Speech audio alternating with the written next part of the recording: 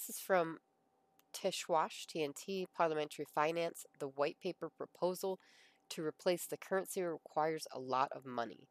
Parliamentary Finance Committee confirmed on Monday that the white paper submitted by Prime Minister Mustafa al Kazimi includes the proposal to replace the currency, noting that this proposal requires a lot of funds to implement it.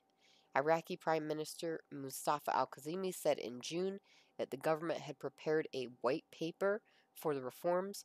According to the document, the proposed implementation period is three years from 2021 to 2023. The reform paper to address the financial crisis presented by the House of Representatives includes a review of the exchange rate and the possibility of proceeding with the removal of zeros while adjusting the mechanism for selling the currency and maintaining the hard currency and the exchange rate of the dollar against the Iraqi dinar.